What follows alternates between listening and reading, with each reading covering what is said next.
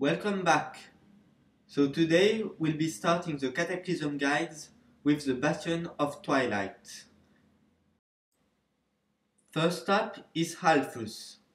Now in Heroic the 5 dragons will be active and Halfus and his Proto-Behemoth will have all their abilities. You want to pull with Snake Trap and without misdirection to reduce the time the boss spends hitting your pet, since he has increased damage on pet, and he will also put a stacking debuff that will reduce healing taken.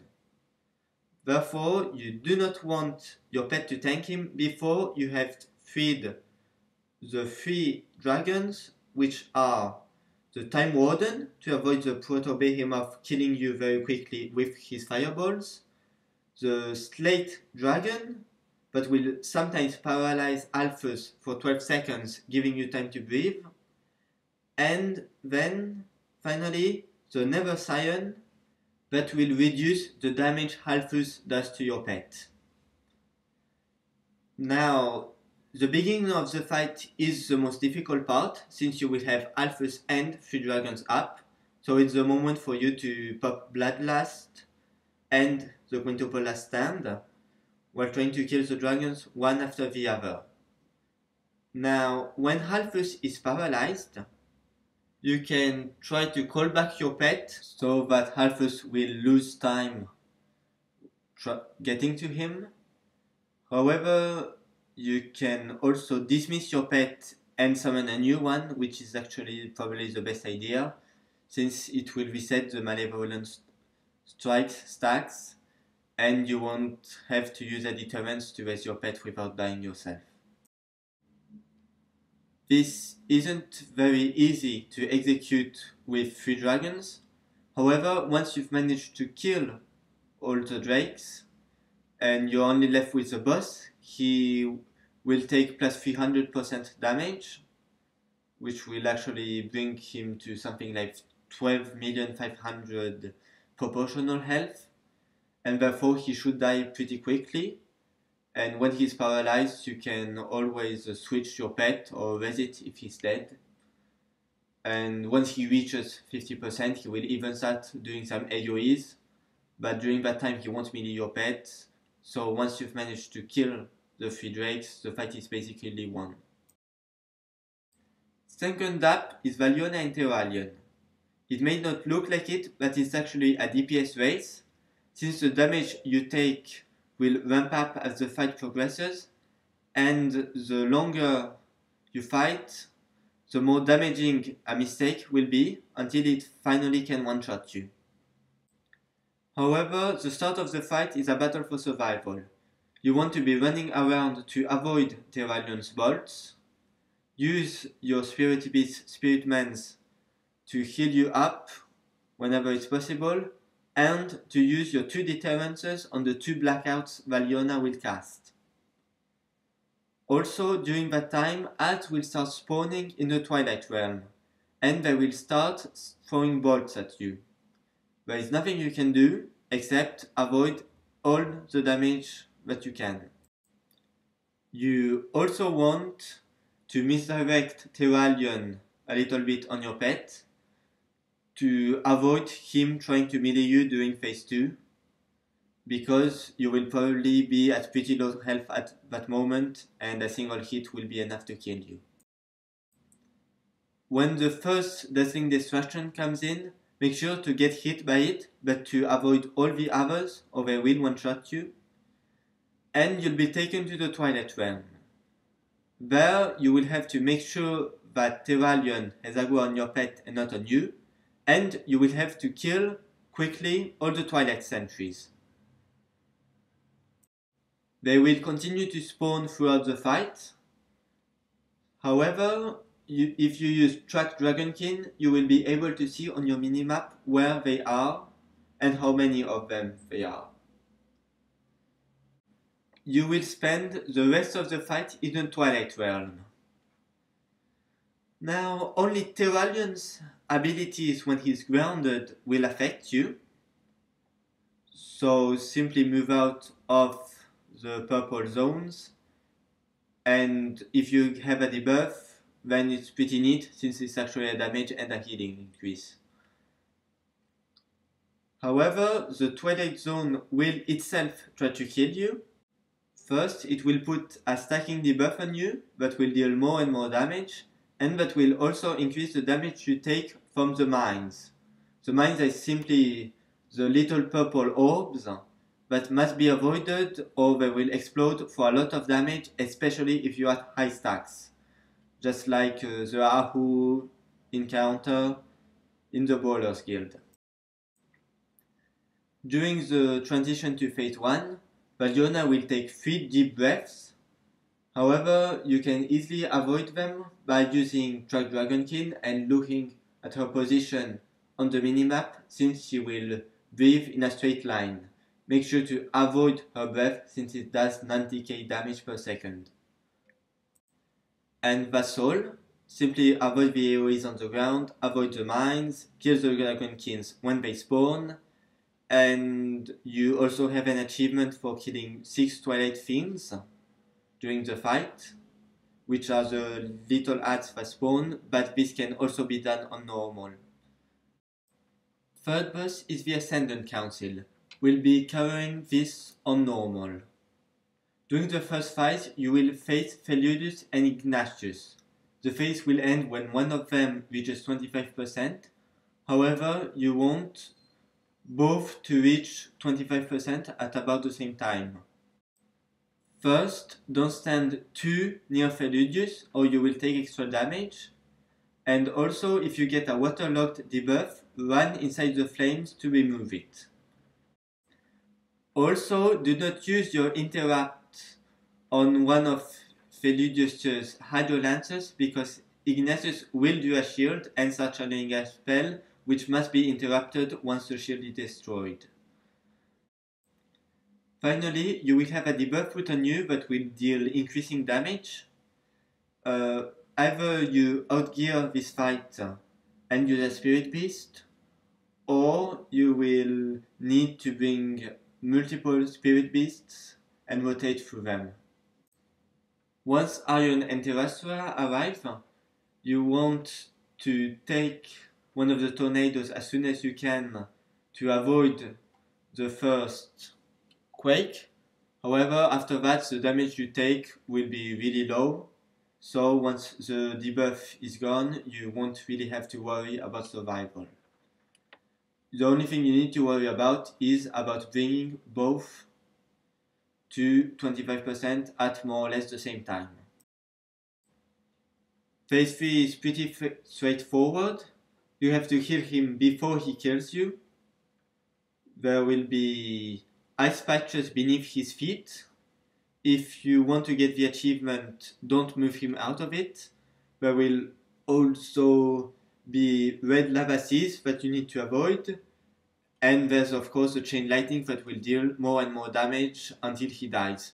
Just blow all your CDs and this phase shouldn't pose any problems if you have enough gear.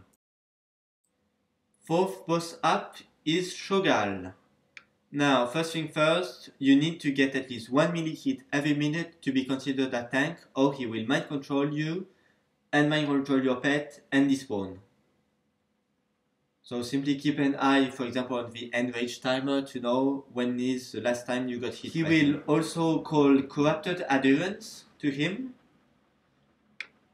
Now, when these die, they leave a pool on the ground, so you want to kill them all on the same spot.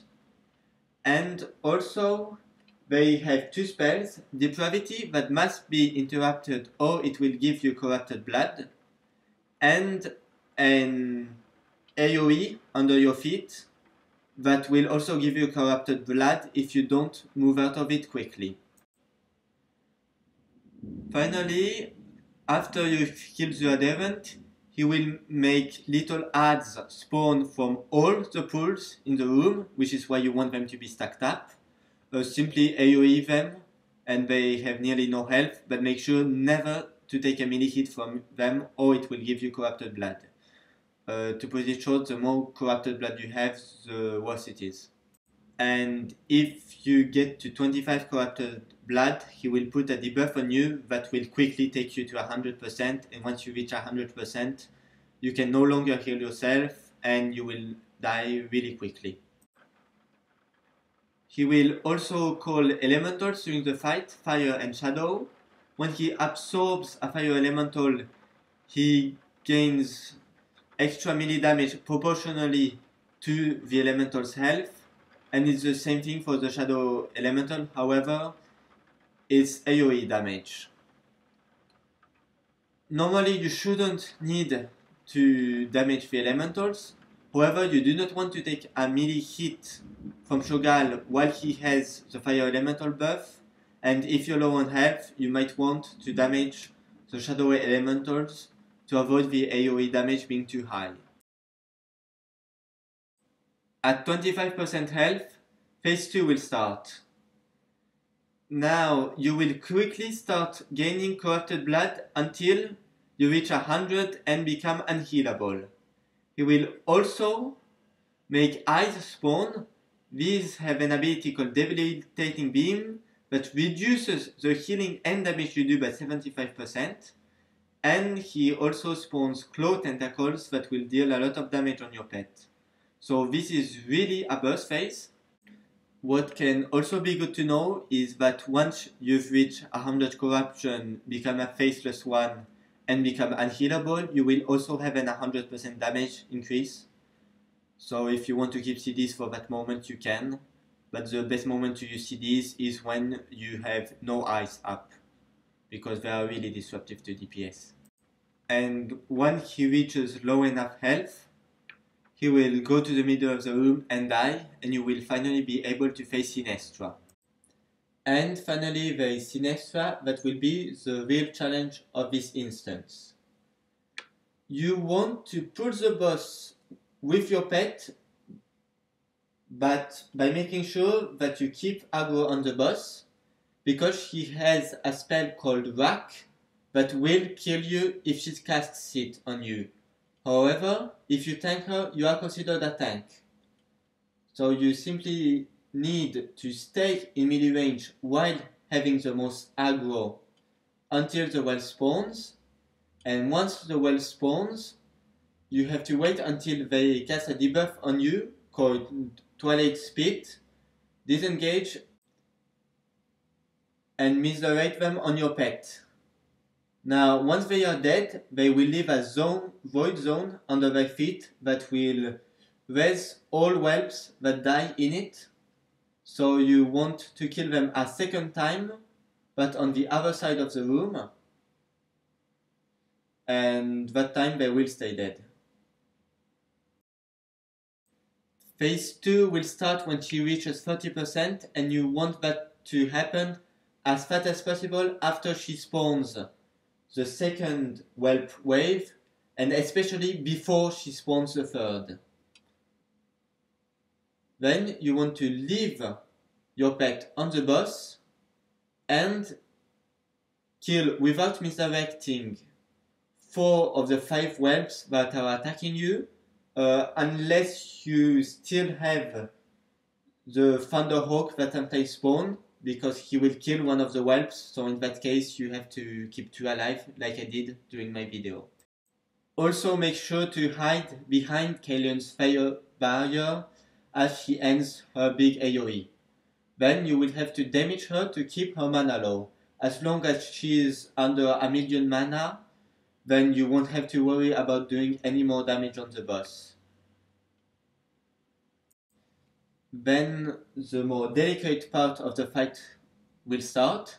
She will remove the damage reduction on the eggs at each side of the room. So you want your pet to destroy while helping him a bit with a few arcane shots the first egg while you run to the second egg and kill it before the immunity comes back.